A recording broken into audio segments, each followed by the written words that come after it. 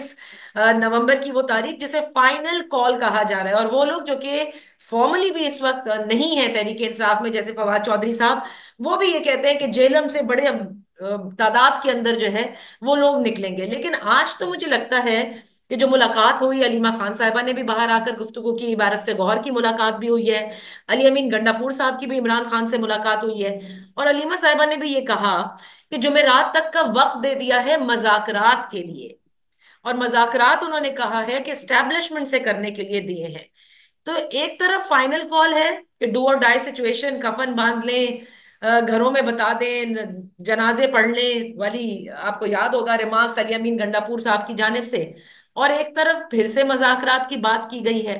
کیا معاملات ہیں؟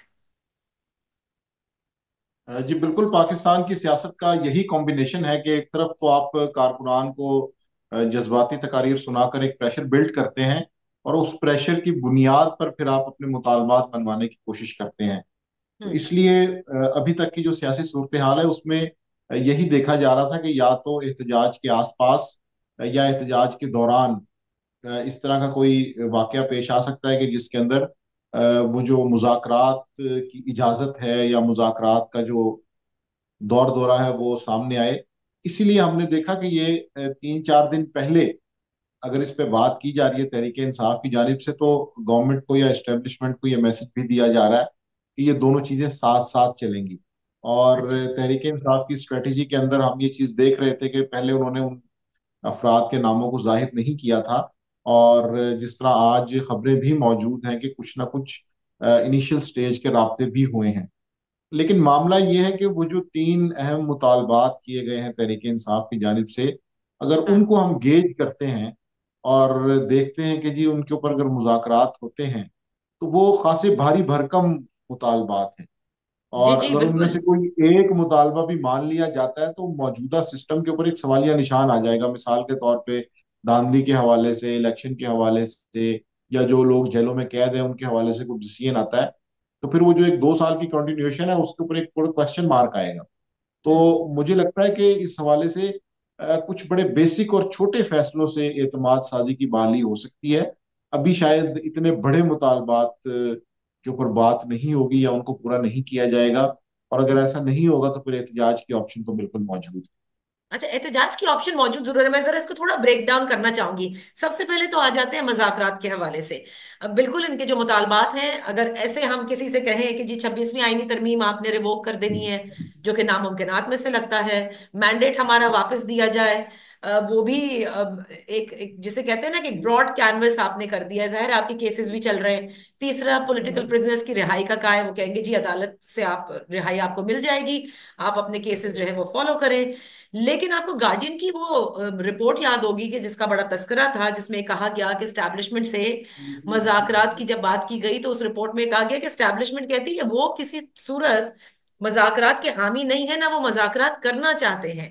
اب علی امین گنڈا پور صاحب اور بیرسٹر گوہر کی جو ملاقات ہوئی اور علیمہ خان صاحبہ نے بھی آ کے کہا، تو کیا یہ واقعی مذاکرات کے لیے آئے یا یہ سمجھایا گیا کہ لوگوں کو موبلائز کر کے ایک بڑا جیسے کہتے ہیں فائنل کال کے تحت لا کر اسلام آباد میں بٹھانا is not an easy task اور پھر دھرنا دیے رہنا، کیونکہ اظہر مشوانی کی ٹویٹر ہینڈل کو بھی آپ نے دیکھا ہوگا، جس میں انہوں نے کہا ہے کہ ہمیں چوبیس نومبر سے پہلے فنڈز کی ضرورت ہے، لہٰذا دل کھول کر فنڈ کیے جائیں۔ جی بالکل، تحریک انصاف اس وقت کئی ڈائمینشنز کے اوپر کام کر رہی ہے اور یہ بات درست ہے کہ احتجاج کے لیے تیاری بھی موجود ہے، دوسری جانب مذاکرات کی بات چیت بھی ہو رہی ہے۔ تو اس ساری صورتحال کے اندر جیسے جیسے وقت گزرے گا، اس سے یہ پتہ چلے گا کہ وہ جو تحریک انصاف کے اندر مختلف اپروچز کے ساتھ لوگ کام کر رہے ہیں، ان میں سے کون سی لابی جو ہے وہ میرا خیال ہے کہ زیادہ طاقتور ہو کے اثر انداز ہوگی۔ کیونکہ اس وقت تو اپنی اپنی اسٹریٹجی کے ساتھ مختلف گروپس کام کر رہے ہیں۔ اور جو دھیمے مزاج کے یا صلح پسند لوگ ہیں، وہ یہ چاہتے ہیں کہ شاید اس احتجاج کے دن کی نوبت نہ آئے اور اس سے پہلے کچھ نہ کچھ کر لیا جائے۔ لیکن مجھے نہیں لگتا کہ یہ جو مارو مر جاؤ یا فیصلہ کن الجہاد ٹائپ جو نعرے ہیں ان کے بعد معاملہ ختم ہوگا۔ کیونکہ ابھی تک کی ایسی سچویشن نہیں ہے۔ تحریک انصاف کو اس کے بعد بھی پالیٹکس کرنی ہے، تو میرا خیال ہے انہوں نے بہت جلد بازی میں یہ سارے نعروں کا استعمال کر لیا ہے، کیونکہ مجھے نہیں لگتا کہ چوبیس نومبر کو یا نومبر کے آخری ہفتے میں یہ ساری چیزیں فائنل ہو جائیں گی اور ونس فار آل یہ چیزیں سیٹل ہو جائیں گی، ایسا بالکل نہیں ہوگا۔ اور ابھی تک کی جو سچویشن ہے، اس کو دیکھ کے نہیں لگ رہا۔ تو مجھے لگتا ہے کہ یہ تحریک انصاف کی اسٹریٹجی میں ایک تھوڑی سی ان کی حکمت عملی میں خامی ہے کہ جس کے اندر انہوں نے جو ٹمپریچر ہے، اس کو اتنا زیادہ بڑھا دیا ہے کہ وہ غیر حقیقی لگنا شروع ہو گیا ہے۔ تو یہ یہ چیز جو ہے، یہ تحریک انصاف کی اسٹریٹجی میں بالکل ان کو نقصان پہنچائے گی تو ماجد، حکومت کیا سوچے بیٹھی ہے؟ دیکھیں ہوتا تو یہ ہے کہ حکومت انگیج کرتی ہے اور کہتی ہے کہ بھئی اب آپ بھی چوک پر آ کے نہ بیٹھیے گا۔ اینڈ لیٹس ٹاک اور کوشش کرتی ہے کہ اس طرح کی میکسیم پوزیشن اگر کسی نے لی ہے، کسی جماعت نے یا اپوزیشن نے، تو اس کو کسی طرح سے ہم ذرا ڈیفیوز کریں۔ یا حکومت یہ سوچے بیٹھی کہ آنے دیتے ہیں اور پھر دیکھ لیتے ہیں کہ کیا ہوگا، کیونکہ وہ سٹرن ایکشن کا بھی ذکر کرتی ہے۔ حکومت کہتی ہے کہ اگر کچھ ہوا تو اس مرتبہ ہم بہت سٹرن ایکشن لیں گے۔ ایسا نہیں کہ آپ کو جانے دیں گے اگر آپ نے توڑ پھوڑ کی یا جلاؤ گھراؤ کیا۔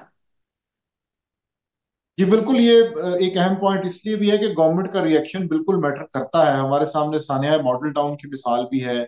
پھر ہمارے سامنے جو اس کے بعد دھرنے ہوئے اور وہ ایک سو چھبیس دن تک جاری رہے، اس کی ایگزامپل بھی ہے۔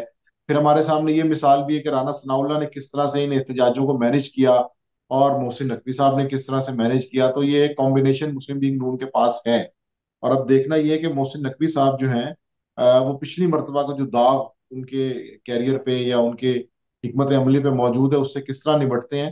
یہ کہنا تو حکومت کی جانب سے بہت آسان ہوتا ہے کہ جی سختی سے نمٹا جائے گا یا جواب دیا جائے گا۔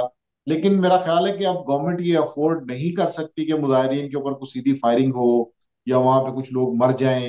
ایون نو مئی کے دن بھی ہم نے یہ دیکھا کہ ان چیزوں سے گریز کیا گیا۔ اور اگر یہ گریز نہ ہوتا تو شاید سیاسی صورتحال خراب ہوتی۔ تو مجھے لگتا ہے کہ سیاسی بیانات ایک طرف بالکل ہیں لیکن حکمت عملی کے حوالے سے گورنمنٹ بھی اس حوالے سے پھونک پھونک کے قدم اٹھائے گی کیونکہ اس کا ریئیکشن جو ہے وہ پھر کچھ بھی ہو سکتا ہے غیر متوقع ہو سکتا ہے۔ تو اس وجہ سے گورنمنٹ کی اسٹریٹجی امپورٹنٹ ہے اور وہ میٹر بھی کرے گی کہ وہ کس طرح سے ان کو ڈیل کرتے ہیں۔ کیا وہ انہیں اسلام آباد کے اندر آنے دیتے ہیں یا اس سے پہلے ہی روک لیں گے؟ یہ میرا خیال ہے ایک ٹرننگ پوائنٹ ہوگا کہ جس کے بعد یہ کارڈز جو ہیں وہ سامنے لائے جائیں گے۔ ہمارے سامنے تحریک لبیک کی بڑی اگزامپل واضح ہے کہ جب تحریک انصاف گورنمنٹ میں تھی اور لاہور کی جی۔ سڑکوں پہ ایک طرف لڑائیاں ہو رہی تھیں اور دوسری طرف جو اداروں کے لوگ ہیں اور کچھ تحریک لبیک کے ذمہ داران ہیں، وہ بیٹھ کے بات کر رہے تھے اور اس کے بعد پھر وہ ایک ایک سڑک پہ لڑائی مار کٹائی ہو رہی تھی تو دوسری سڑک کے اوپر مذاکرات ہو رہے تھے اور اس کے بعد پھر ہم نے یہ دیکھا کہ وہ چیزیں کچھ سیٹل ہو گئیں۔ تو بالکل اس وقت بھی ایسا ہی امکان موجود ہے کہ تحریک انصاف کے کچھ لوگ ادھر انگیج کر رہے ہوں گے اور کچھ لوگ جو ہے وہ کارکنوں کا حوصلہ بڑھا رہے ہوں گے۔ اچھا۔